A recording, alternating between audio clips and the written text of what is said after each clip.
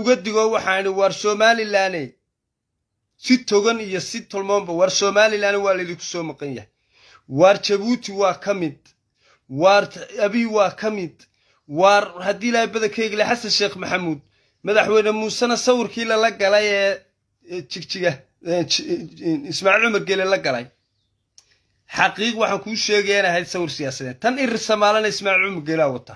Waxaa qorshaha loo wadaana waa dekadda berbera iyo horumarkaynu samaynay iyo d b wall iyo taiwan iyo ictiraafka soo dhowaaday iyo adduunkaynugu soo socdo weeyaan. Jabuutina ma oggola xasan sheekh maxamuudna ma oggola daaroodna ma oggola ka ogaadeenna ma oggola shirkii jigjiga jigjigaa lagu qabtay xamar baa la geeyey jabuuti baa lagu xigsiiyey waxan ay ku leeyihiin daaroodku ismaaciil cumar geelaanna hubeeyey waar marka maanta ninka ismaaciil cumar geelle sidii maraykanka kuula dhaqmo xaggaana soo hubeeyo adna ku hubeeyo.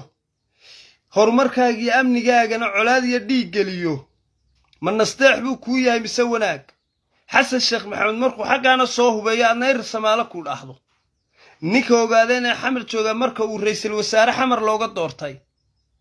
Ninkii waddada ka saaray buu ahaa halkaa ee wajaale xidhay ee hartii sheekha xidhay ee yidhi xoolaha la sumeeyo oo dhaqaalaha lagala dagaalamo dagaal culus baa la soo qaaday ilaahay baana bixiyey adigana hoostaadii maxaa la dhigay? Habar yoonis abaarso xeerfoodhiin ka kaca. Waannu dagaalamaynaa. Raggii caqliga u noqon lahaa ee cadowgaa meel uga soo jeedsan lahaana. Labadaa nin ilmaadeerkaabay noqdeen iyo ninkaa gaaban ee xirsi kulli fidma cinda geel nimanka qorshaha watayna xirsi iyo ninkii baarlamankaa kow ka ahaa inay waddanka inqilaabaan foodo geliyaan dabeedna inqilaabaan maca ciidanka in la inqilaabaa la doonayay ila ciidanku intuu isdifaaci lahaa isaga dhexdiisii ayaa laga shaqaynayay ciidanka sidii siyaad barre in qabaa'il loo kala jebiyaa la damca haye isla markiiba isku shaandhaynaya nidaam buu muuse ku sameeyey. Ilaan waa nin kornayl oo ciidanka soo yaqaanay. Habar yoonis habar jeclo iyo dhulbahantayn loo kala saaraa la rabaya habar awal miyaad la socotaa hawshaa markiiba waa laga shaqeeyey. Saraakiisha ciidanka dad reer somalilan aa dhabarka ka tooganaya xaqiiqdan walaa idiin sheegayaa. Kadibna loo soo weydaarto muuse xabadda foorka laga qabto la inqilaabo. Qorshihii siyaad barre ayaa la soo dejiyey. Dagaalka iyo duulaanka ninkani uu la dagaalamay. Sirdoon shaqaynayay muu jiro intaasoo qorshu watay. Sirdoonkuna wuxuu ahaa inqilaab. Baarlamanku inqilaab buu ahaa. Guurtidu inqilaab buu ahaa. Ciidankiina inqilaaba baa la siri. Reer baa laga dhigay inta qorshe iyo dagaal uu ninkani uu la tacaalay ilaahay ku badbaadiyey warumahay sida adigu. Rag reer sheekh saxaaqa oo dhulbaanta leh oo samaroon leh oo cid walbao reer somalilan qorshahan ka dambeeyey. Aanu inqilaabno. Haye cadowga cidda ku soo xambaaraysay somalilan gudaheeda ahayd xeer foodhiin bay ahayd mucaarid bay ahayd siyaasi bay ahayd haye nin kale ciidanku waa reer buu ahaa nin kale baarlamanku maxaan ku dhaayay madaxweynaha ka xayuubiyuu ahaa. Adiga gudahaagii baa laga dhex laga kalluumaystay intaas oo dagaal baa soo galay muuse bixi oo uu la tacaalay. Inqilaabkii ciidanka inqilaabkii baarlamanka inqilaabkii sirdoonka inqilaabkii guurtida wax shaqaynayaba keligii mooyaane mabay jirinba. Yah isla markiiba ciidankiibuu dubhabeenaya shaadhay waanu ka sii foojignaaday shaqo qaran buu tababartay ubixiisii wuu la socday laakiin miyaad fahansaneed adigu haye waa habar awal waa habar awal habar awal gebigaagoo dhan buu ku badbaadiyey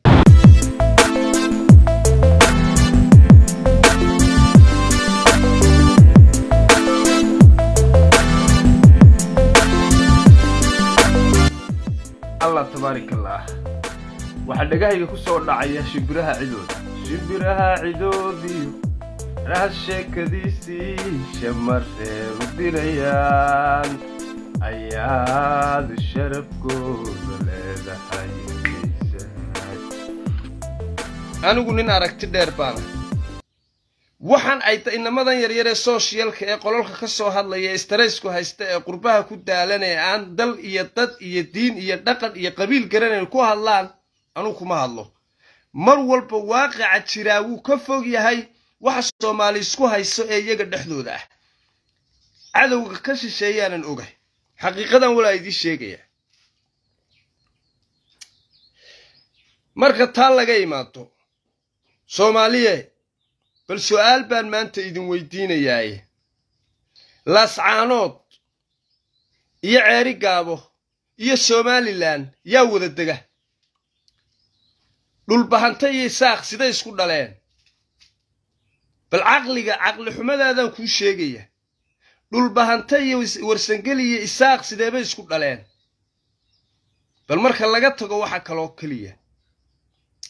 Imisaad abti u tahay imisaad ka qabtaa imisay kaa qabaan. Xaqiiqadan walaa idiin sheegaya. War dad isdhalay oo wada dhashay oo ehel oo gacal oo xidid oo ilaahay isbaday lagama yaabo in ay waxaan macnolaan isku diriraan laakiin cadow baa ka dhex shaqaysanaya. Cadowgaasina waxa weeyaan intaanay adiga ku soo gaadhin iyaga isku mashquule xaqiiqadan walaa idiin sheegaya. Horta caadi ma lee arkaa.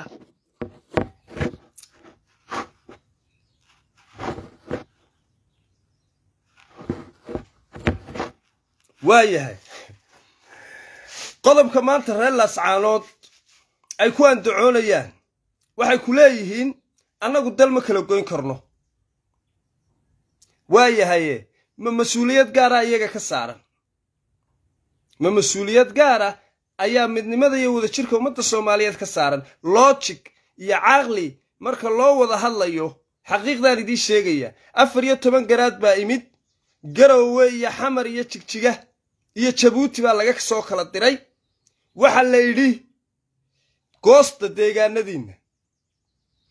Yah isaa qabiil waa wuu ismaamulay nin weliba deegaan buu samaystay. Qabiiladiinna goost deegaanadiinna goosta.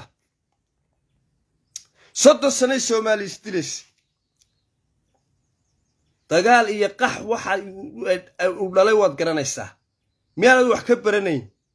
Afar iyo tobankii garaada oo nin waliba saddex tigni ka wato oo calan la cararayaa laascaanood soo galay ummaddii iyo shacabkii iyo hooyadii iyo masaakiintii meesha deganaa iyo dadkii maxasta ahaa ayaa la yidhi kaca kaca kaca ka qaxa meeshan.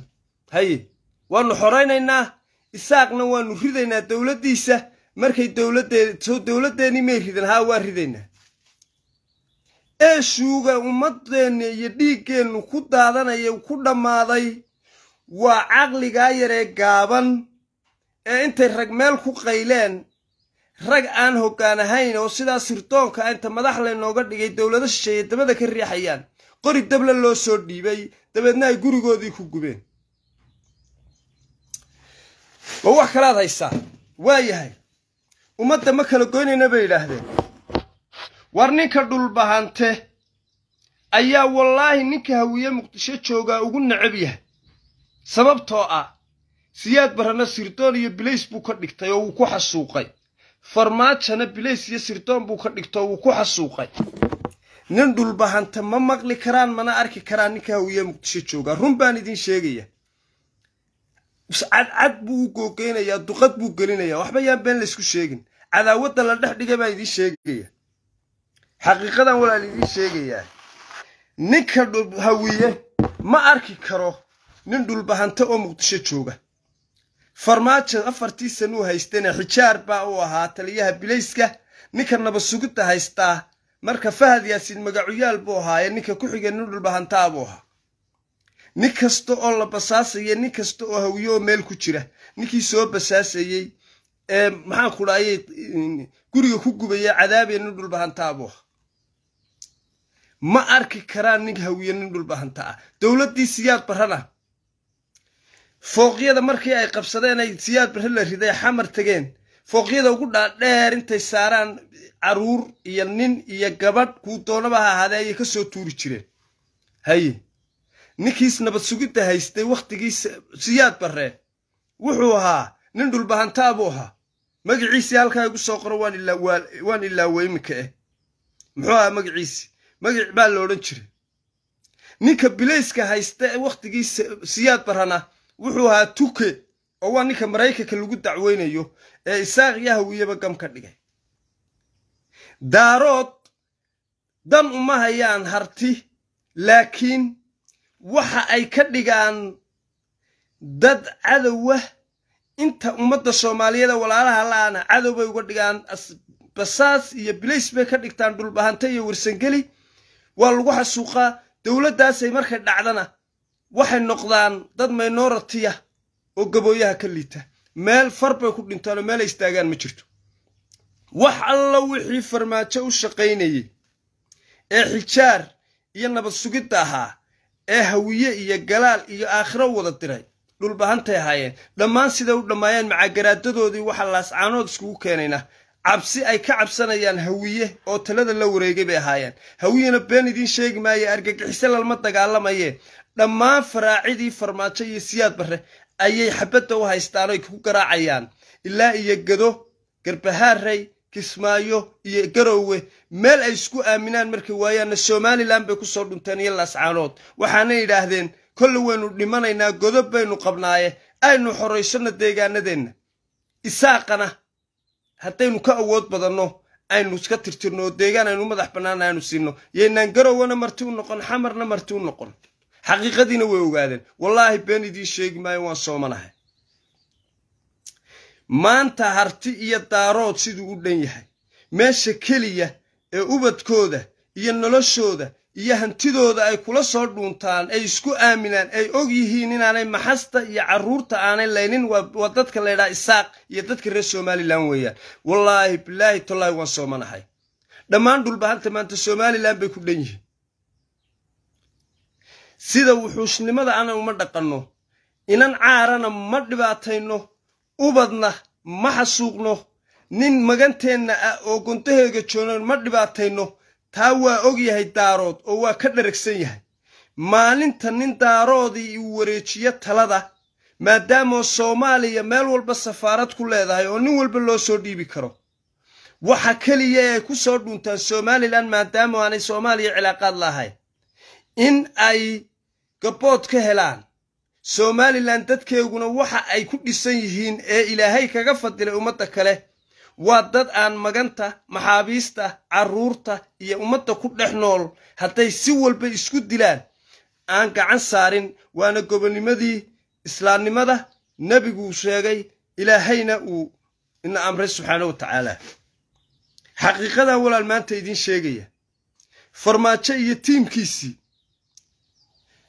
turkigiina way ku dhuuman kari waayeen gadarna way ku dhuuman kari waayeen meel kalena way ku dhuuman kari waayeen xitaa kuwii somalilan ka soo jeeday oo uu ka mid yahay doctor bayle oo ahaa wasiirka arrimaha dibadda meel walba markii laga soo xidhiya safaarad wale musuq maasuq lagu eedeeyey dantu waxay ku qasabtay inuu idhaahdo ashahaadda ay qabta somalilan isku soo dhiibo. Uu idhaa somalilanna waxay gobonnimo ku leedahay cid kastoo wax yeesha inay subag siiso waxay tidhi haddaanad wax dhibaataa noo geysana waa deegaankaagiyo ku soo dhowo. Haye dhulbahantana waxay idhaahdeen walaalayaal waanu wanaag baynu ka shaqaynaynaaye deegaankaygaanu nimaadno garaadadiioo meel ay ku dhuntaan le oo garowe lagaga daba yimid oo adduunkii oo dhan laga soo xidhay ilaan shantii sanne afartii sanne ee farmaajo joogay. Hawiye waxba loomay hadhin oo way kala aarsadaan dadkaniye oo hablahoogay wax ka duubayeen oo dadkoodiibay hotellada ugu dhaceen oo go'doon bay geliyeen oo farmaajo wuu ka aarsaday nimanka laydhaa hawiye ee cabdilaahi yuusufna wuu ka aarsado ninkii maraykan iyo etoobiyaan u adeegsaday buu ahaa. Waxay idhaahdeen walaalayaalow aanu wanaag aynu ka wada shaqayno. Xaqiiqadan walaa idiin sheegaya. Kadibna somalilan way aamintay. Sidii bay ku soo galeen. Mar walba somalilan waxay ku guulaysataa daacadnimay ku aamintaa iyaguna way khiyaamaan dad nasteex u ah ayay cadow u arkaan. Maanta ninka reer sheekh saxaaq nin daarooda amba dhulbahanto ah amba warsangeliya amba ciddu doono ahaaday oo somalilan iyo deegaanada ku nool. Geeri buu ka xigaa in caaradaa uskageed la gaadhsiiyo. Laakiin iyagu cadaawadday kuu qabaan ka ogaadeen ee jooga kililka shanaad iyo ka harti ee jooga garoowe iyo ka xamar jooga inanta isaaq iyo inanka isaaq wuu usxabaalayaa annagoo taa og ayay haddana si goboniyimal iyo sharafle ugu nool yihiin maanta waxaa laascaanood ka dhacaya waad ogtihiin. Hargeyse iyo burca iyo berbere iyo meel walbana way ku nool yihiin waxaad makhraati ka tihiin. In dad lahaa dhulkayagii baa la dhibaateeyey miidhiya ka hadlayeen. Dad lahaa qabiil ahaan baa naloo eryanayaa miidhiya ka hadlayeen. Nin miidhiya ka hadlaya waaba nin xore ah oo intay madaxdu raalli geliso lalahaa yaa la hadlay. Wallaahi been idiin sheegi maayo. Halka halka kuwooda culimmada ah iyo ka siyaasiga ah iyo nin kastaa uu maanta uu leeyahay ninka isaaq waanu ku shahiidaynaa ninka isaaq waa argagixiso ninka isaaq waa gaal ninka isaaq waa sidan ninka isaaq waa qoomaluud ninka isaaq waa sidan. Haddaba walaalayaa runtaan walaa idiin sheegayaa reer somalilan gaar baa ula hadlayaa caqligii soomaali wuxuu yaallaa somalilan buu yaallaa. Dadkan mar walba inaga caqli u ahayn. Maalintii aynu ka soo dhex baxnay ayaa haadiyo waraababa ka dhergay oo iscunaan xaqiiqadan walaa idiin sheegayaa maalintii aynu ka soo dhaqaaqnay ayaa haadiyo waraababa ka dhergay caqli ay isku maamulaan iyo caqli ay ku wada noolaadaan midna ma leh marka nin hawiyihii qabtana daarood buu ka aarsadaa oo gam ka dhigaa. Marka nin daaroodii qabsadana hawiyuu ka aarsadaa wallaahi been idiin sheegi maayo. Inan ma dhaafaan oo inan ma dhaafaan. Meel ay ku wada noolaanayaan ma jirto. Ninka mareexaan iyo ninka dhulbahante ayaa maanta ninka hawiye ugu necab yahay. Waayo dee farmaajaa laga urinaya. Shalayna siyaad barraa laga urinaya.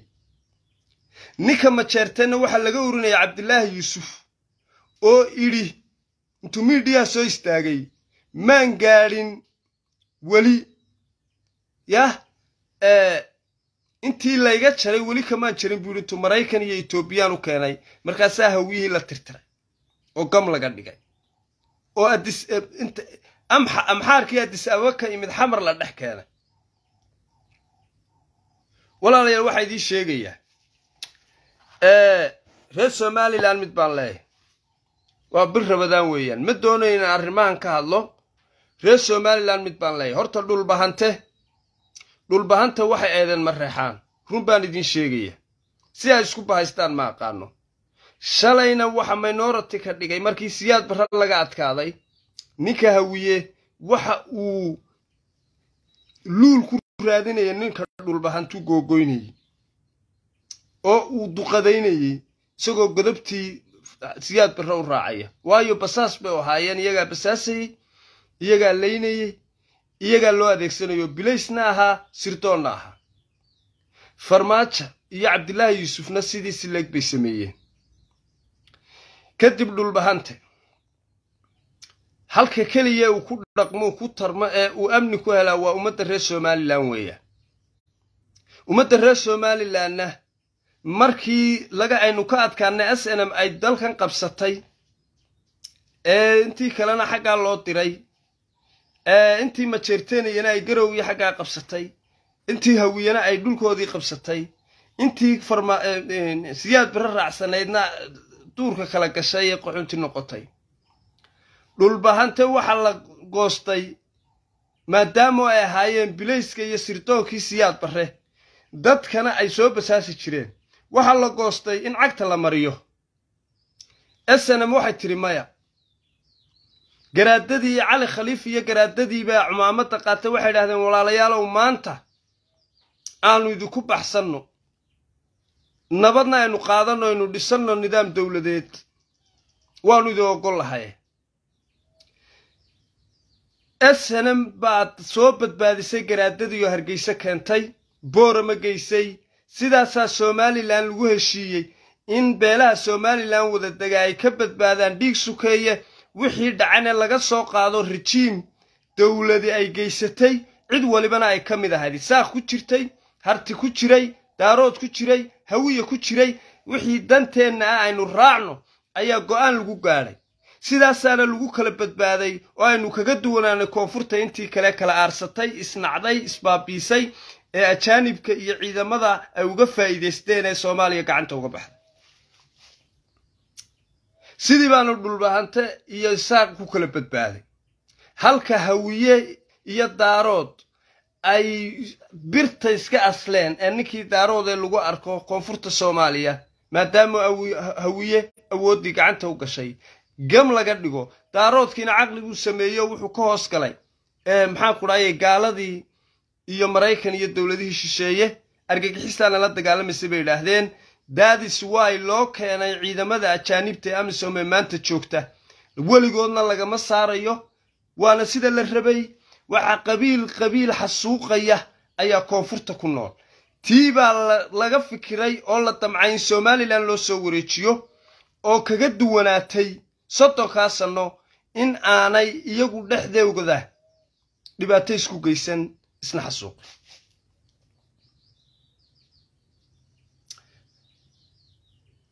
xaalka hadda reer somalilan waxaa mar walba ilaahay guusha ku siinayaa inaanay gardarre iyo adiyad samaynin inaanay shacabka iyo maatida dhibaatayn midna halkan farriin baan ayaan uga qaadaya. Midha halkan farriinta uga qaadaya waxa weeye waa bil rabadaan weeyi adiga oo intaad iska tasbiixsato alxamdulilah astakfirullah walaa ilaha illa allahu akbar ilaa baa ka qiimo badan. Waxaanaan maanta olen ku hadlayno ilaahayna ku raalligeliya cibaadadiisa bisha rabadaanna ka faa'iidaysta khayrkeeda. Laakiin way ka fursan weyday inaan wanaagga iyo islaaxa aan halkan ka sheego. Harti mid baan leeyahay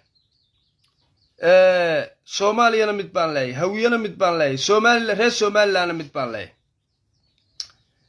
awalan harti mid baan leeyahay. Harti waxaan leeyahay. Waa laydinku guuray. Oo koonfurna walaal ma cag dhigi kartaan oo godob baa idiin taalla. Maxaan ku dhahay siyaad barre iyo farmaajo iyo cabdillaahi yuusuf idinka tegay oo wallay ka tahay inaan laydin aaminayn. Oo inanka hawiye caloosha ku jiraa og wixii aad baddeen waana idin gumaynayaan yaa ee halka keliya ee ilaahay idin dhigay eed wax la leedihiin eed la noolaan kartaan eed xukumi kartaan. Aniga ninka isaaqa waad xukumi kartaa. Ninka isaaq anigu xukunka waan ogolahay laakiin aduu maxaad xukunkayga ku diidaysaa? Ninka harti baan sheegaya. War anigu isaaq baan ah. Ilaahay siduu kuu badiyey buu ii badiyey. Ilaahay siduu reer kaaga dhigay buu iga dhigay. Ma doonayo inan qabyaalad ka hadlo? Laakiin inan wax saxaan rabaa jabuuti waan ku dhaqanoo waan kaaga badanahay. Ninkaa ciise inuu xukumo oo aan u hoggaansamaan ogolahay anaa kaga dhaqaalo badan anaa kaga maxaan ku dhahaye nolol wanaagsan. Dalka alla ii siiyey baa ka ballaadhan waan ka baabuleshin badanahay waan ka awood badanahay. Haddana qabiilkaa ciise inuu i xukumo oo keliya waan u hoggaansamahay. Hagardaame iyo dhibna kuma hayo kumana fikiro inaan ku farageliyo nidaamkiisa iyo dowladnimadiisa tusaale ahaan wax allo waxa ganacsa jabuuti ka jira ee socda dekadaha iminka d b wo la wareegtaye dee isaaq baa gacanta ku haya ganacsatada isaaq baa gacanta ku hayay. Dekadda ugu weyn jabuuti ee dooraale waxaa gacanta ku hayay geella arabka maanta hargeysa jooga oo waa nin araba. Isaga ayaana d b wol u keenay. Isagaa maamulayey oo maal gashaday marka hore. Ganacsatada ugu waaweyn ibraahim dheere maaweel baxsane. Wax allo waxa ganacsi jabuuti yimaada waxaa lahaa isaaq bay ahaayeen dhaqaale aan kala jasiira daa'ir kula wareego oon xukunkooda ku rido oon anigu ku qabsado waan awooday laakiin si aanna taydu u wanaagsanaato adduunkana aan macaamilo wanaagsan ula noolaadaa waxaan sameeyey in maamulkiisaa u hoggaansamo oo aan ku nabad galo. War dowlad deegaanka soomaalida sool iyo sanaag baad sheeganaysaa aanu kula dege deegaanka soomaalida. Anaa kaga deegaan wacan oo kaga khayraad badan oo kaga dakhli badan oo kaga dhaqaalo badan. Etoobiyana ma rabto in aniga gacanta ii geliso. Waayo inaan ninka ogaadeen ka caqli badanahay ka soomaalisanahay ka muwaadinsanahay gumaysi aanan ogolaanayn isxoraynayo awood u leeyahay bay og tahay iska daa waxa kaloo wajaaloo kale waa dekad qallalan oo etoobiya oo dhanba ayaa dhaqaalaha ka hesha. Waa deegaan aan leeyahay. Jigjiga iyo wajaale marka laysdha garab dhigana waxa dhaqaalo badan wajaalaa dhaqaalo badan. Waa magaalo xuludeed. Waxay kaabiga ku haysaa waa deegaankeedii somalilan wajaaloo keliya haddaan inaan footo ka kiciyo rabo ayaan dowlad ka samayn karaa. Oo deegaan ku ley oon dhaqaalo ku ley labada dhinacba anaa dega. Harta sheekha anaa dega. Gaashaama anaa dega jigjigo waan kula degaa ilaa diri dhabaan degaa waar intaasoo sanno nin ogaadeena ay xukumayey oo dadkayga sumaynayey xasuuqayey ganacsigooda la wareegayey jibriga ka buuxinayey. Miyaan diiday? Anoo mudaharaadaya anoo cabanaya anoo wax sheegaya miyaad aragtay? Waan oggolahay inuu nin ogaadeeni xukumo waayo dantaydun baan wataa. Maalinta uu isoo faragashada anigoo dowladnimadiisa iyo nidaamkiisa oggol oo ku oggol oo ku raacsan maalintaasna ilaahay qalinku ka rogaa oo dulmiga iyo xiqdiga iyo xaasidnimada igula kacayo ayuu ilaahay ku wareejiyaa oo ku baabaa cabdi ilay baana makhraati idinka. Mustafa cagjar maanta mar alla markii aan wanaajiyey een walaal ka dhigay een berbere keenay een etoobiya etoobiya waxa aanu ku colownay in annaga iyo kililku walaala noqonno oonu wanaagayga ka talinaanu caqligaasaanu keennay mustafa cagjar oo badho saabkaa jigjiga ayaan gebile keenay berbera boorama keenay meeqaam gaadhsiiyey wax tusay war aanu iskaashanna ilaahay baa iskeen badaye. Markiiba basaas buu noqday wuxuu ka fikiray siduu igu qabsan lahaa colaad iyo iyo xumaan ii gelin lahaa. Waar dadkayga miyaan u hadlaa dowlad deegaanka soomaalida iyo reserve area degan oo ma idhaahdaa goosta mudaharaada xukunka ogaadeen diida. Waar miyaan diiday ka xamar igu xukumaya waar farmaajaa shalay uu xukumayey kumaanku misaaqaa taageersanaa hargeysaa laga soo dhoweeyey. Oo meel walba waa laga codeeyey oo garxajis iyo habar jeclo iyo sacad muse cid aan taageersaneen may jirin. Xukunkiisay oggoleed. Mahdi guuleed baa ra'iisul wasaare ku-xigeen u ahaa. Wasiirka warfaafintu nin habar jeclu ahaa. Oo wuxuu ahaa doctor dubbed wuxuu u difaacayey si uu ninkaa daarood u difaaco xukunkiisa ugu hoggaansamo ayuu dalkiisa u lahaa. Soomaaliya laga xukumaa maantana cafis buu soo weydiisanayaa war ma diidey? Miyaan diidey? Caqligan aad ku fikiraysa ee quracan ee qaldan soomaali. Daaroodow gacal baynu nahay waanu isdhalnay weliba sidaan adiga ii dhex gasheen cid soomaali u dhex gasheen ma jirto. Laakiin dhibaatada soomaali ku jirta ee hadday hoggaan noqotona aan wadi karin haddii la xukuma laysdhaana aan la xukumi karin ee cadow iyo shisheeye iyo etoobiya qurun mar walba hoos keenaysa ee soomaali baabinaysa walal waa adiga. Run baan kuu sheegayaa yah waa adiga. Maanta irir samaalaad nagula yaaban tihiin.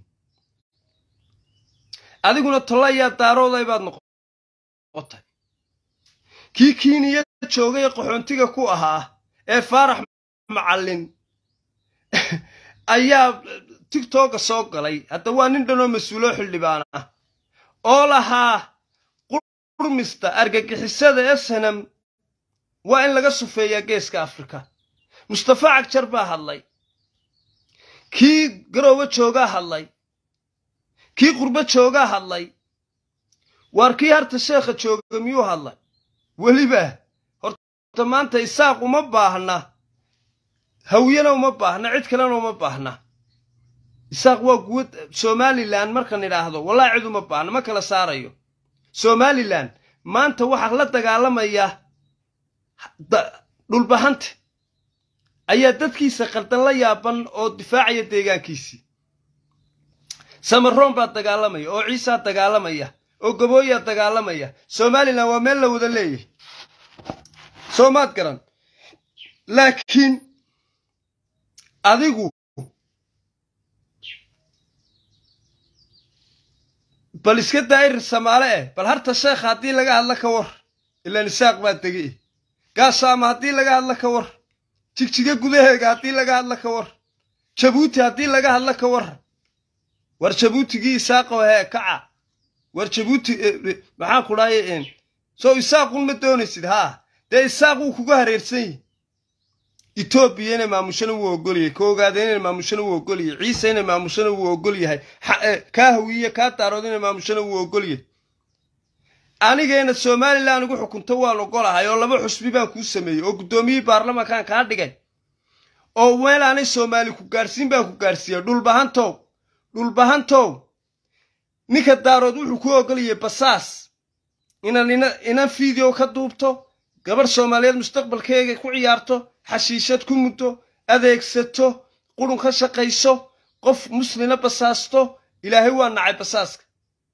Bilays kaa dhigo askari kaa dhigo dhiig islaameed kugu daadiyo ayuu ninkaa daarood kugu ogolyi war anigu waxaan kaa dhigay teetal aanad gaadhay. Haddii aanad hoggaankiiba aanad fahansanayn oonad imaamuli karin oo aad rabto un basaasnimo iyo bilays sidaan ku idhaa waar waxaan kaa dhigay guddoomiyihii baarlamanka waar intaasoo wasiir baan ku siiyey. War laba xusbi baan kuu sameeyey oon ku idhi war aniga i xukun annagu isaaq haddaanuna ismaindha buuxinne eh qabyaaladii baa meel xun naga gaadhaye afartaydii habrood baa ishaysanne eh oo meelna uma wadayne eh war annaguna xukunoo aanu kuu hogaansanaanu ku nidhi. Saddex xusbi baanu kuu samaynay xagla toosiyaa xusbi samaystay ataash baa xusbi samaystay guddoomiyihii baarlamankaad ahayd dhaqaalihii wax ka noqaan ku idhi haash bedromiyan baad lahayd daabshiil baad sheer ku lahayd ummaddii baad dhex gashay ciidankii baad ahayd war halkeed ka heshay ka garowga joogee majeerteenna waxa uu xaabadaada ku guraa buuraha galgala oo argagixisadu dabka kugu shubaa. Shan boqol oo inan baa ku dhintay xeradii ay ku jireen galgalo. Markii argagixisadii intay labada kadiba bamba u dhigtay yaah ay ku dhufatay majeerteniya ayaa xaabada iskaga dhigtay. Ninka mareexaan ee xamar madaxweyne ka noqdaanba ka majeerteenna basaas iyo sirdoon buu idinka dhigaya booliis oo soomaalinta kaleu idinku diraa. Uu idhaa laaya haye waa qaabkii yuhuudda in iyo qaabkii maxaan ku dhahaye faraacida in ninkii kacaba laga dilo ummadda sheekha laga dilo haldoorka laga dilo hablaha la baabi'iyo oo dhaqankooda la baabi'iyo waa dhaqankii faraacida iyo dhaqankii naasiga iyo dhaqankii yuhuudda weeye waar marka sidaa lagaa dhigo anigu sidaan kuu galay. Haddaba haddaba dhiiggaaga anigu ma rabo. Mana jecli dhul labada inaan fooda iyo dhibaato ka kiciyo. Middaan ku guulaysta ma doonaysaa? Jabuuti inay nabad ahaataan jecelahay. Dowlad deegaankun inuu nabad ahaadaan jecelahay bal haddii aan idhi waar ninka ogaadeenoo weligaa xukun igama deegaan badnide huuhaabaad miidhiyaha la fadhidaa dhagax buur baad degtaa oo go'doona aniguna intaasoo deegaan baan leeyahay oo somalilan oo dowladoo madax bannaan baan leeyahay oo aan saami kaga heli kara etoobiya intaan kula gorgortamo dadkaygan maxaad sidan ugu gelaysaa? Haddaan idhaa waan goosanayaa oo waan iska kaa celin karaa. Etoobiya wallaahi bilaahi tallaahi sidaasay u kaajistaa t b l f ayay la dawaqday markii dambena lugaa qabsatay war haddaan etoobiya iska celin lahaa oo aan cadowga shisheeyaha kaa ilaalin lahaa yaa anigiibaa dabaday haysaa. Adigiina khayr ma lihid walaalayaal waxaa idiin sheegayaa waa bir rabadaan weeyaan war caqligu ha shaqeeyo. Caqligu ha shaqeeyo. Wax aad tarteen ma jirto. Marba kilib baad soo duubaysaan waa nagaa gooja caddaanu qabsannay kanaanu samaynay. War gooja cadde ma lix bilood baa la qabsadaa. Waa xero ciida degan yahay. Weliba sidaasaa laydiin turayaa. Waa nala xasuuqay hay maxay keenaysaa? Waxbaanu qabsannay waa nala xasuuqiyey waa nala laayy war dhulbahantow wallaahi anaa ku huran. Oo bilaahi anaa ku huran. Ka ogaadeen waa kii dhammaan haldoorkii dhulbahanta lahaa. Ninkii amxaaru gacan geliyey ee idhi waa nimankii siyaad barre la shaqaynaya cali khaliif nimankii ku sumeeyey jigjiga weeyaan ee basaasay. Mustafa cagjar baa ka mid ahaa ninkii basaasay ee cali khaliif galleydh oo idhi somalilan buu la jiraa. Siyaad barrena wuu la shaqaynayey seben sebenkii waa nimankii qorshaha ka dambeeyey etoobiya lagu soo duulo. Sirdoonka etoobiya u dhiibay sirdoonka etoobiyana ay sumeeyeen. Ay idhahdeen coronavirus baa ku dhacay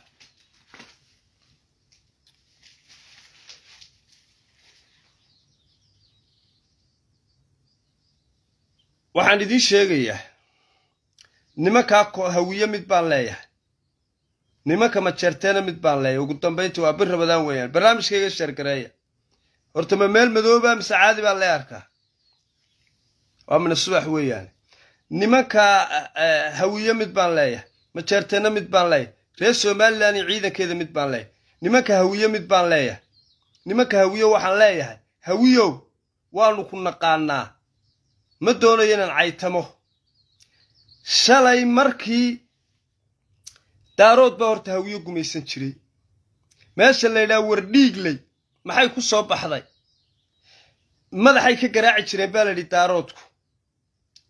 Dabeedna intay madaxa u dhigtaan bay odhan jireen ku cesho ku cesho ku cesho ku cesho kadibna waxaa la yidhi war sidan kuma dhammaanayaane nimankani way addoonsan jireenoo beeraha u qodi jireen. Wallaahi baan idin sheegi maayo. Nin habar yoonisa. Magaciisa imika iga yara baxaye waa la yaqaanaa waa caan. Ayaa yidhi war daaroodoo sida nimanku ku dhammaan maayaane. Nimanka laaya. Qorigii ay la dhacayaan baburkii la dhacayeen bay musaabiir ku rakibeen nimankaa daarood. Dabeedna halkaasunbay kaga taagi jireen iyo madaxa. Meesha la ydhaha war dhiigley wax kale kumay bixin. Nimanka warta nabadday u bixiyeen. Waa dhiiggii hawiye weeyaan dadkii xoreeyey ee caqliga u yeelay wax fahansiiyey. Isaaq bay ahaayeen. Maalintii s n m ay guulaysatay ayaana xornimo ugu horraysay intii siyaad barrahaystayna dameerka ay wataan kumuu xaari jirin magaalada muqdishoy maanta unukaale leeyihiin. Wallaahi baanu ku xaari jirin. Jawaan baa lagu xidhi jiro waa lagu ganaaxi jiray. Ninka abgaal amba ninka hawiyo ee dameerkaa wata ee magaalada dhex marinaya madnuuc bay ka ahayd oo may soo geli jirin. Dayniila hadday soo dhaafaan. Wallaahi taariikh saxaan idiin sheegaya nimanka daarood waa balaayo. Maantana irir samaalay gaadhsiiyeen war nin walba caqligiisa nin walba horta libintiisaa la sheegaa daarood maanta hawiyihii irir samaaluu gaadhsiiyey warta nabadday u bixiyeen. Taariikhdaasaa la soo mariyey. S n m baa xoraysay jenaraal caydiid bay hubsiisay. Deegaanadiinna qabsado hagaajisla bay tiri. Maalintii bay idhahdeen soomaaliya waa muqadas oo cabdiqaasin iyo cali khaliif ay kala doorteen. Cali khaliif oo somalilan ka soo jeeda ayaa ra'iisul wasaare laga dhigay. Cabdiqaasinna madaxweyneha laga dhigay. Cartaa lagu soo magacaaba si ay innagayno iskugu keen garaacaan ummaddeenna taariikhda ma haysaan reer somalilanna wey. Erir samaalaada haysaan. Ninka daarood baa ka dhowo wallaahi oo bilaahi oo tallaahya dhammaan cigaal iyo cumar carte qaalib iyo raggii somali national moven baa la odhan jiray. Ururka dhaqdhaqaaqa xoreynta ummadda soomaaliyeed in s n m goosato waxaa ku kalifay hawiyaa ku kalifay. Markii intii heshiisee walaala ahayd ay saaqa dhulbanta ahayd ay dab kala dhex dhigeen ee cali khaliif ay ra'iisul wasaare ka dhigeen ay damceen inay colaaddii sukeeyo soo celiyaan ayaa snam tiri maxaa inoo xala xal inooma yaalay cumar carte oo rabay ra'iisul wasaareba madaxweyne iyo cigaal. Jabuuti waa laga xidhay. Halkiibay ku shireen. Waxay gaar u yihiin bay samaysteen. Cali khaliifna waxaa ka dhigay ra'iisul wasaare cabdiqaadisna midnimada soomaaliya waa muqadas bay idhaahdeen yaa ka dambeeyey. Cali mahdi baa ka dambeeyey. Waa muqadas buu ihi midnimada soomaaliya. Soomaaliya waxay ka mid noqonaysaa buu haddana la soo fadhiistay etoobiya yaa ka dambeeyey sheekh shariif baa ka dambeeyey yaa yuu ra'iisul wasaare ka dhigtay nin daarooda xasan sheekh maxamed yuu ka dhigtay mareexaan iyo dhulbahantuu ka dhigtay ra'iisul wasaare oo uu kala bedelay maanta yuu ka dhigtay nin ogaadeenuu ka dhigtay wuxuu ogaaday somalilan cidday isdhalaanay isku deegaanka yihiinay wax wada qabsan karaan yah ee awood yeelan karaa inay yihiin ogaadeen nin ra'iisul wasaaruu ogaadeen ka dhigtay waa sababta keentay in ogaadeenkii oo dhani maanta dhaantada ka tumanayaan laascaano ilaan kursi uunbaa dadkan waale oo colaadayna kala dhex dhigay inagiyo ogaadeen. Ninka hawiye ayaa kow ka ah dhibaatada maanta somalilan ka jirta. Waar nin kasta oo ay doortaan farmaajo iyagaa doortay maxaan ku dhahayey cabdillaahi yusuf iyagaa doortay siyaad barre iyagaa soo dhoweeyey kan ogaadeenee maanta dhibaatada laascaanoodka oo ah ninka ogaadeen waxaa lay sheegay inay hooyadii dhulbahanto ahayd. Xasan sheekh maxamuudna hooyadii waa ogaadeen. Ninka maanta ka wada dhibaatada laascaanood ee garaadada soo cabeeye dadka isku abtiga dhiigooda isku daadinaya. Ninka doortay ee xamar keenay arrintaa ka soo shaqeeya waa xasan duufle weya xasan sheekh maxamuud weeyaan xaqiiqdan walaa idiin sheegaya haddaydaan reer somalilan oo aydaan ogaan dhibaatada iyo gacantu halka ay ka socoto caqli ma lihidine waarka dhulbahanta waa la soo dirayoo waa inan ka agiye. Qaladkiisa wuu fahmiye. Gowsdambeedku waa ayo. Waa ninka ogaadeenaya ninka abgaal wey. Iyo ninka abgaale xasan sheekh maxamuud weeyaan. Haye. Laba qaybood buu soo diray. Labada qaybood uu soo diray waxa weeyaan. Qaybna wuxuu soo diray harti iyo puntland iyo dhulbahante oo uu yidhi waa ogaadeen iyo waa hawiye iyo waa raxan weyn. Qaybna somalilan buu u soo diray. Kuwuu somalilan u soo diray oo wixii sooshialka inaga caayi jiray. Goormaynu meeqaamkaa gaadhnay aynu sidaa u dhimannay. Caqli xumadeenna daahir calasow oo hablaheenna hoostooda ka sheekaynayo inanuu wax ka duubay iyo inanuu caayo iyo inanuu ka sheekeeyo isir iyo ab iyo dhaqan soomaaliyeed aanba diin ku lahayn oo sikhraana oo xashiishadoola ah. Ma doonayo waan soomana inaan wax ka hadlo. Iyo kan ay ku tilmaameen boqorka irir samaale oo halkan ka soo qaylin jiray oo odhan jiray somalilan waa inayse soo dhiibto. Somalilan waa inay midnimada qaadato. Habar awal waa gaalo. Waa yuhuud. Ayuu innaga inoo soo diray. Iyagana sagaalkii farmaajo odayga u ahaa ayuu u diray garowe iyo. Caqliga lagula ciyaaraya ninkaa hawiye war ma kuwii daarood dhakada ka garaaci jiray ee ku cesho odhan jiray ee dameerkooda ay ku xidhi jiray jawaanka ayaa maanta innagii qayb iyo xukun ku wado oo aynu durbaanka u tumaynaa. War wax irir samaalo laydhaa ma jiro. Irir samaale anaa aasaasay. Youtubekuu ku jiraa markii aan damcay siyaasadda daaroodiisamka ee dhulballaarsiga iyo caqliga wanaagsan ay ciyaarayaan ay rabaan geeskan afrika awooddooda iyo dhaqaalahooda inay ku soo celiyaan. Een hawiye toosinayey een isaaqan isku mashquulsan toosinayey ayaan irir samaaliya dir keenay waar irir samaale ma jira ee dir baa haddii aad wanaag doonayso ku garab istaagay.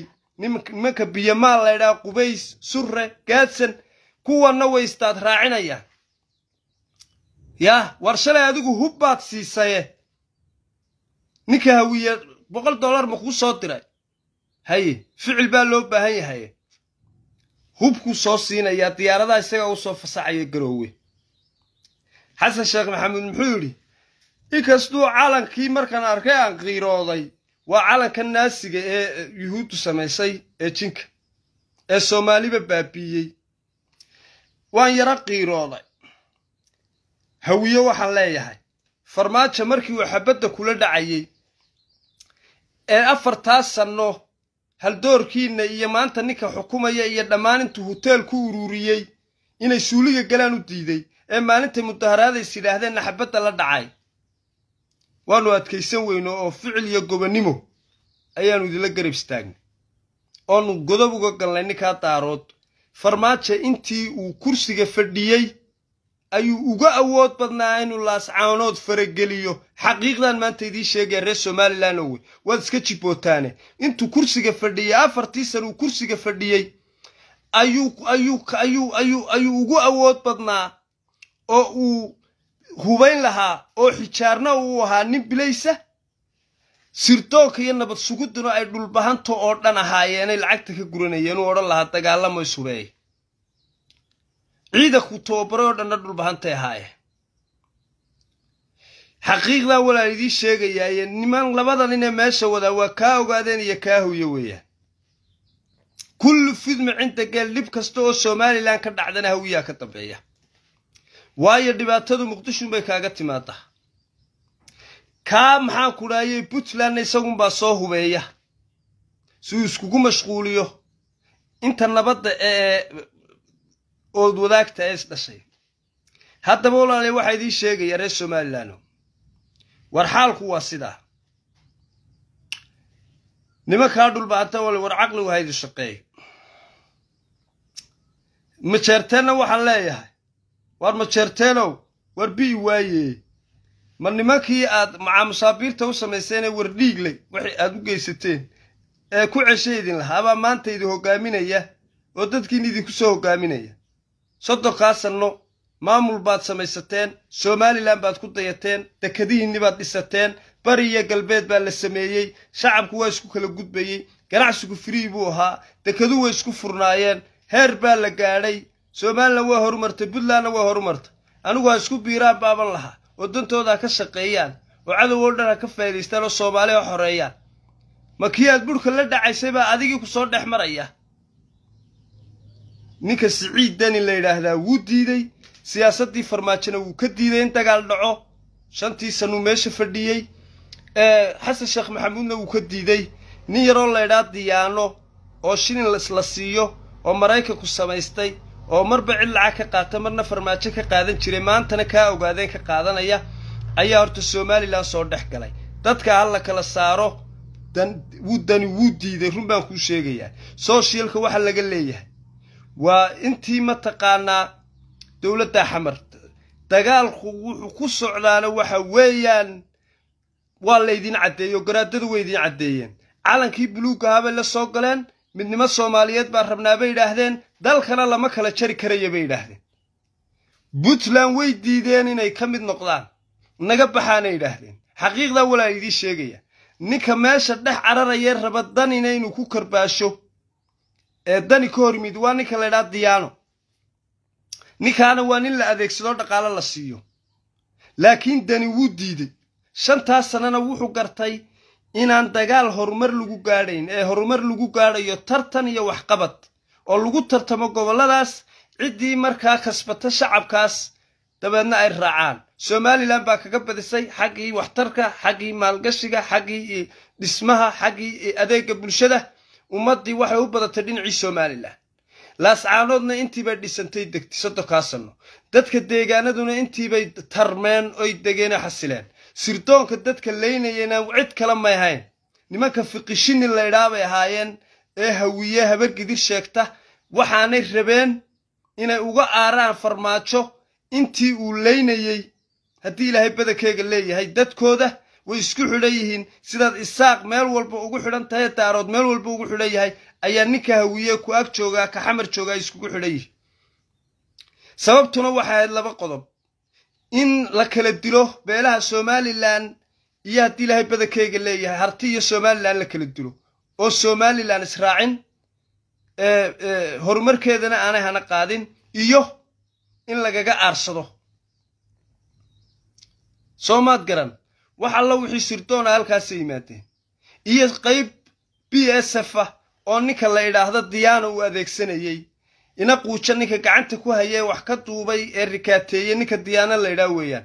Dhaqankaasna waxa keenay sirdoonka gaalada in dumarkana black mark laga duubo lagu adeegsado odayaasha iyo dadkana sir laga qabto sidii la doono laga yeelo anigu walaal waxaan idiin sheegayaa waa serious. Xogtan maanta laysku haystana sanad ka hor baan ayaan sii sheegay oon qoraal ugu sheegay maca somalilan wallaahi baadan been idiin sheegeyn oo bilaahi baanan been idiin sheegeyn waan soomanahaye. Qorshaha la wato ee dowladaha shisheeye wataan in sifil war dalka laga rido sirdoon la soo dhex geliyo dadka maalinba mid la toogto qabaa'ilka somalilan layska hor keeno waar colaadda sukeeya dhiga waar doorashooyinkan iska daaya waar ciidamaa laydiin tababartay waar sirdoon baa laydinku soo dhex darsanayaa waar sistamkii etoobiya la rabaa ay etoobiya ku xukumaysa in layna soo dhexgeliyo guryaha la gubo labadii jaara laysku diro dadka la laayo qabaa'ilada laysku kiciyo colaad dhexdeena la geliyo waar arrimaha ka kaca. Yaa xeer foodhiin doorasha dhici mayso garxajis anaa haayadoo habar jeclo ah anaa habar awal alkhubus bal xisaabayn. Talada wanaagsan qofka diidee qaadan waaya. Wuu ka qoobamaynayaa. Wax alla wixii aan u qoray dadkaa madaxda ah. Maanta waa waxa dhacay. Waxaan idhi laascaanood baa laga bilaabayaa booramana waa la wadaa. Qorshaa intaasoo odaybaa disaaba loogu yeedhay. Jabuuti loogu yeedhay. Xamar loogu yeedhay. Oo la rabaa beelaha darafyada in la kala dilo isaaqna waa la kala dilay. Waxaa laga soo shaqeeyey in isaaq horta la kala qaybiyo. Habar awalgaar loo saaro. Soomaali cadow looga dhigo. Garxajis iyo habar jeclo iyo isaaq horta layska hor keeno qabaa'ilada waaweyn. Ciidamada qabiil loo saaro. Saxaafadeenna laga faa'iidaysto dhaqaalo la siiyo. Waryaadhaheen marka dambena sirdoon layna soo dhex geliyo suuqyada la gubo guryaha la gubo sheekadan qoomaluudka iyo waxaan laga sheekaynayo ummadda lagu mashquuliyo. Marka cirdigooda iyo sharaftooda la dhaawaco qof walba wuu gabbanayaa wuu cabsanayaa ma hadli karo laga faa'iidaysto. Waa sidan waa qoomaluud adduunka iyo islaamka laga hor keeno go'doon la geliyo kadibna qabaa'ilada layska hor keeno kadibna ciidankii eritariya iyo waxaan danab la leeyahay somalilan la soo geliyo. Ma dhacday mise ma dhicin ma dhacday mise ma dhicin? Dhammaan ciidankii danab kuwii maxaa ku dhahayay xijaar gorgor hareemacad b s f wax alla wixii dowladaha cadowga shisheeye tababareen ay dhaqaale siiyeen ee soomaali danta ka lahaa. Saascaanood ma ku sugan yihiin. Ninkii axmed madoobe laydha waa ninkii u qaabilsanaa kiiska argagixisada. Argagixisadan amba ninka daarooda imaadaa samaysta amba ninka hawiye sababtoo ah cidday dilaan raadkooda lama raaco. Al-shabaab baa disha khalaas waa argagixiso markaa waa qaabkii sirdoonkay u adeegsadaan. Xasan sheekh maxamuud ninkan uu wasiirka ka dhigtay buu samaystay oo farmaajo iska xidhay oo weligoodba u adeegi jiro argagixisada qaybka ah. Ninka axmed madoobe laydhaa argagixisaduu qaybka ahaa waa lagu adeegsadaa waa sirdoonkooda cidday dilaanna cidima tix raacdo dowlado shisheena ma tix raacaan. Xasan farmaajona wuxuu ka dhigan jiray maxaan ku dhahaye ninkaa la odhan jiray axmed madoobe iyo gruub noocaasa. Dabeedna cidday dilayaan cidimay tix raaci jirin maca argagixisadii baa soo gashay lascaano qorshahaa intii la degayeyna saxaafadaadana waa laga faa'iidaystay asxaabta mucaaridkana waa laga faa'iidaystay. Qaab qabiil baa laynoo soo dhex galay. Anaa laandheere anaa garxajis anaa kana doorashadu ha qabsoonto. Madaxweynihii iyo xukuumaddiisii weliba sidaasuu yahay nin karaan adag adkaysi badan oo isha cadowga la socda isagoo isha cadowga og ayuu ta gudahana ilaalinayay uu dulqaadka u lahaa. Haye wariyihii kasta ee laynoo soo adeegsada marka la xidho xoriyatuqowl baa la xidhay haye xeer fodhiin bebel corridor maxaan ku dhahaye maxaan dadka isku sinjiga ah kan iyo kan yacni abaarso muxuu ahaa hebel cabdimaalik qorshe lagu mashquulinayo bulshada dhexdeeda adinta ciidanka iyo qorshaani socdo waan uga digoo waxaan idhi waar si togan iyo si tolmoonba waar somalilan waa laydinku soo maqan yahay. Waar jabuuti waa ka mid waar abiy waa ka mid waar haddii ilaahay badankeygle xasan sheekh maxamuud madaxweyne muusena sawirkii lala galay ee jigjiga ismaaciil cumar geele la galay. Xaqiiq waxaan kuu sheegaya in ahayd sawir siyaasadeed. Tan irisomaalana ismaaciil cumar geelaa wata. Waxaa qorshaha loo wadaana waa dekadda berbera iyo horumarkaynu samaynay iyo d b wall iyo taiwan iyo ictiraafka soo dhowaaday iyo adduunkaynugu soo socdo weeyaan. Jabuutina ma ogola xasan sheekh maxamuudna ma ogola daaroodna ma ogola ka ogaadeenna ma ogola shirkii jigjiga jigjigaa lagu qabtay xamar baa la geeyey jabuuti baa lagu xigsiiyey waxan ay ku leeyihiin daaroodku ismaaciil cumar geelaanna hubeeyey. Waar marka maanta ninka ismaaciil cumar geelle sidii maraykanka kuula dhaqmo xaggaana soo hubeeyo adna ku hubeeyo. Horumarkaaga amnigaagana colaad iyo dhiig geliyo. Ma nasteex buu kuu yahay mise wanaag? Xasan sheekh maxamed markuu xaggaana soo hubeeyo adna ir samaalo ku dhahdo ninka ogaadeen ee xamar jooga marka uu ra'iisul wasaare xamar looga doortay. Ninkii waddada ka saaray buu ahaa. Halkaa ee wajaale xidhay ee hartii sheekha xidhay ee yidhi xoolaha la sumeeyo oo dhaqaalaha lagala dagaalamo. Dagaal culus baa la soo qaaday ilaahay bayna bixiyey. Adigana hoostaadii maxaa la dhigay? Habar yoonis abaarso xeerfoodhiin ka kaca. Waannu dagaalamaynaa. Raggii caqliga u noqon lahaa ee cadowgaa meel uga soo jeedsan lahaana labadaa nin ilmaadeerkaabay noqdeen iyo ninkaa gaaban ee xirsi. Kulli fidma cinda geel nimanka qorshaha watana xirsi iyo ninkii baarlamankaa kow ka ahaa. Inay waddanka inqilaabaan foodo geliyaan dabeedna inqilaabaan. Maca ciidanka in la inqilaabaa la doonayay ila ciidanku intuu isdifaaci lahaa isaga dhexdiisii ayaa laga shaqaynayay. Ciidanka sidii siyaad barre in qabaa'il loo kala jebiyaa la damca haye isla markiiba isku shaandhaynaya nidaam buu muuse ku sameeyey ilaan waa nin kornayl oo ciidanka soo yaqaanay. Habar yoonis habar jeclo iyo dhulbahantayn loo kala saaraa la rabaya habar awal. Miyaad la socotaa hawshaa markiiba waa laga shaqeeyey. Saraakiisha ciidanka dad reer somalilan aa dhabarka ka tooganaya xaqiiqdan walaa idiin sheegayaa. Kadibna loo soo weydaarto muuse xabadda foorka laga qabto la inqilaabo. Qorshihii siyaad barre ayaa la soo dejiyey dagaalka iyo duulaanka ninkani uu la dagaalamay. Sirdoon shaqaynayay muu jirin intaasoo qorshu watay. Sirdoonkuna wuxuu ahaa inqilaab. Baarlamanku inqilaab buu ahaa. Guurtidu inqilaab buu ahaa. Ciidankiina inqilaaba baa la siri. Reer baa laga dhigay. Inta qorshe iyo dagaal uu ninkani uu la tacaalay ilaahay ku badbaadiyey warumahay sida adigu. Rag reer sheekh saxaaqa oo dhulbaanta leh oo samaroon leh oo cid walbao reer somalilan oo qorshahan ka dambeeyey. Aanu inqilaabno haye cadowga cidda ku soo xambaaraysay somalilan gudaheeda ahayd xeer foodhiin bay ahayd mucaarid bay ahayd siyaasi bay ahayd. Haye nin kale ciidanku waa reer buu ahaa nin kale baarlamanku maxaanku dhaayay madaxweynaha ka xayuubiyuu ahaa.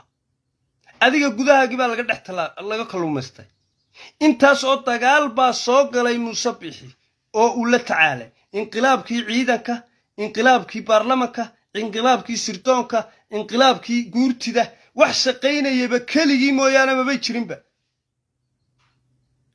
Yah isla markiiba ciidankiibuu dubhabeenaya shaadhay waanu ka sii foojignaaday shaqo qaran buu tababartay ubixiisii wuu la socday laakiin miyaad fahansaneed adigu haye waa habar awal waa habar awal habar awal gebigaagoo dhan buu ku badbaadiyey. Haye xirsi baa kow ka ahaa ciro cirana dee miyaanu nabad sugu u ahayn siyaad barre. Abaal buu siyaad barre u galay xirsi. Muxuu ahaa ciro cirana haddii ilaahay badankeegi lay dee farmaajo. Siyaad barre adeer u ahaayo dee aabihiiba adeerkiiba abaal u galay. Carruur ay isku bah yihiinna waa isku hooyo. Shaqadiisuu watay haye mar walba in fooda iyo qalalaaso waddanka la geliyo lookalka gudaha la mashquuliyo si arrimahaasi ay u hirgalaan muddaa laga soo shaqaynayay. Si walba haddaba arrimaha waanu ula soconnay sirdoonkii muxuu shaqayn lahaa? Ilaa waa sirdoon inqilaaban ciidamadii maxaa ku dhacay? Guurtidii waa sidee? Baarlamankii waa sidee? Siday wax u socdaan. Markii wixii oo dhan la fashiliyeyna nin waliba wuxuu is yidhi maxaa kuu hadhay? Dabka qabadsii laascaanood haye ku eedee xukuumadda markaa cidda xitaaba dadka leynaysay qayb ka midi somalilan ba ku eedee buu yidhi markaa haye waxba kuuma hadhine halka kale aad ku badbaadaysaa waa halkaa somalilan ha burburto dabeedna taasunbaad samcad ku helaysaa ilaa sir baa fashilanaysa eh cabdirasaaq khaliif maalintii sirtii fashilantay wuu cararay laascaanood buu tegey wuxuu yidhi anigu deegaankana layga xukuma. Meel kaluu ku dhuumanayaa ma jirin. Manuu qarsan dhammaan meelihii uu shaqada la waday buu tegey. Jigjiguu tegey garow wuu tegey turkiguu tegey farmaajuu la kulmay. Waa la ysku xidhnaa silsilad bay laba obshan baa jiray. Farmaajo inuu inqilaabo sidii adeerkii xasan sheekh maxamuud oo ciidamadan soo yaacay ee gorgor iyo hareemacad la leeyahay farmaajo tababartay. Kuwii eritariya markii xerada la keenay midhba waa laga waaya xaggay tegeen in la wada xasuuquu doonaya xasan sheekh maxamuud. Ilaa farmaajaa raba inuu ku inqilaabo sidii adeerkii. Inuu xamarna inqilaabo farmaajo. Somalilandna uu inqilaabo xirsi. Iyo cabdiraxmaan muxuu ahaa baalkii.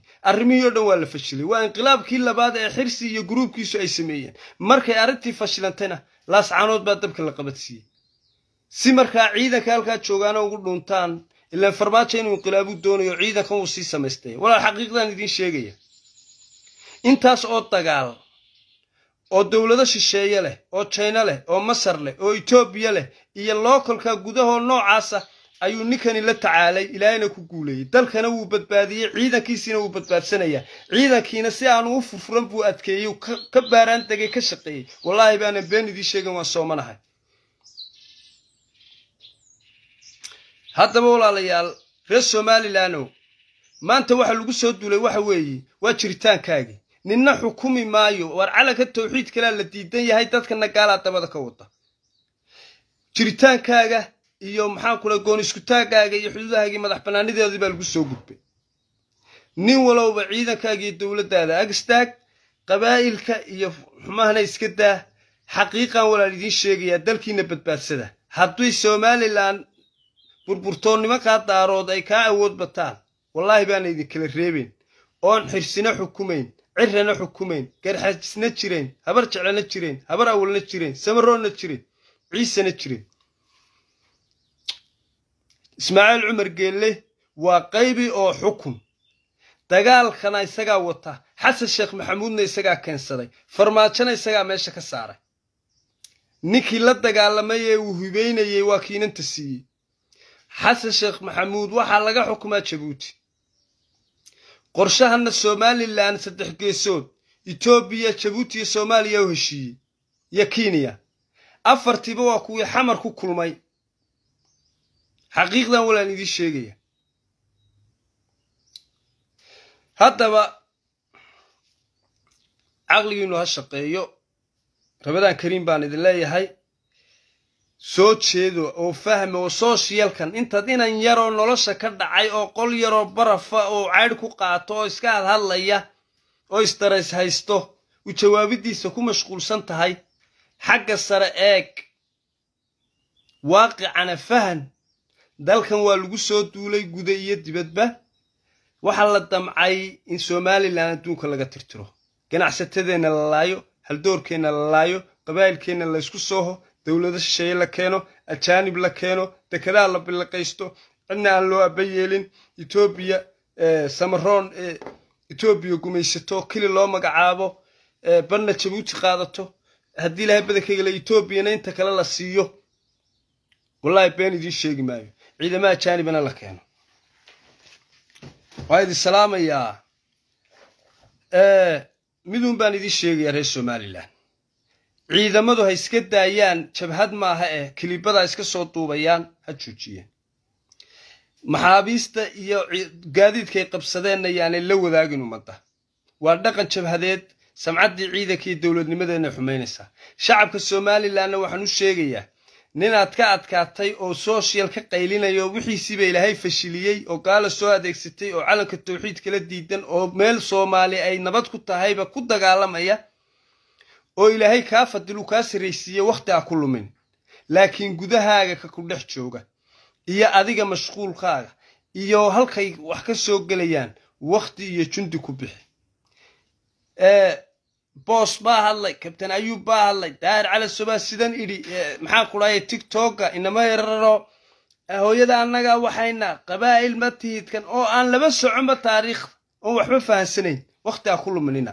Ku south africa jooga ku ogaadeena ku maxaan ku dhahay majeerteena ku wax miidhiya ka hadlaya baa ku mashquulina.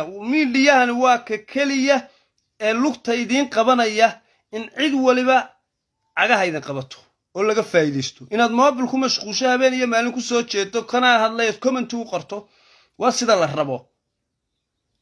Mobilka iska dhig ka gudahaagana eeg ka dibaddana eeg cadowga shisheeyana eeg wax badan baa kuu soo baxaya.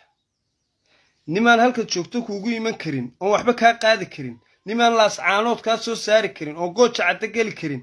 Nin been soo sawiraya hadday maxaabiis hayaan maxay u soo bandhigi waaye gaadiid ay qabteen maxay u soo bandhigi waaye gooja cadda laba bilood baa lagu dagaalamaya maxay u qabsan waaye ninaad ka awood badan tahay ka dhaqaalo badan tahay ka xoog badan tahay. Ilaahay kaa fadilay. Inan yaroo qurbo joogo oo qaaqdahayo qaxoontiya baa garoonkiisa eeg waa xashiishadoo leh waa sikhraan. Hooyadii ma yaqaan naagtiisa ma yaqaan ubad ma yaqaan halkaasuu soo fadhiyaa qaaqduu hayaa dal ma yaqaan diin ma yaqaan. Wuxuu doonuu iskaga hadlayaa kii shalay ku caayayey baa haddana maanta ku ammaanaya. Shalay markuu ku caayayeyna uu ku mashquuliyo dhabanadaad haysatay oo muxuu aadaad haysay maanta markuu ku ammaanana sida kan lee leeyahay ir samaaligu madaxweyne u yahay bal kiliibadii uu ku hadli jiray eeg oo dib u eeg. Malaha waxba lama socotidi wuxuu ku hadlayey bal eeg anaa yaabi jiro oo odhan jiray waan odageen qanjaha weyn ee cirada leh. Maxaa soo shila ka dhex dhigay miyuu iska cibaadaysto intaa ku qoslo. Bal eeg maantana wuu ku dhex socdaa dowladda somalilan waa dal madax bannaan taasuu haya. Waana waana musixir waana sirdoon waana basaas. Maxaa boorama geeyey ergadan ilaa boorama socota ee yah alaalala abgaal wuxoodii qaadaysaa. Ee gabadhan qanjaha weyn la hor socotaa maxay ahayd? Mustafa cagjar baa intuu ilaa halkaas soo cararay xeradaadii dekadaadii boorama meel walba ku dhex cararay. Alalada hoosaysa maxaa ilaa boorama geeyey? Ma boorama laysku haystaa? Laascaanood baa laysku haystaa? Maxaa xafiisba keenay? Dhiig islaam baa isku daadanaya inan iyo abtigii baa laysku garaacayaa ninkii nabada iyo calan doonayaa dee furuntaa ha tago nabadda ha ku dhinto.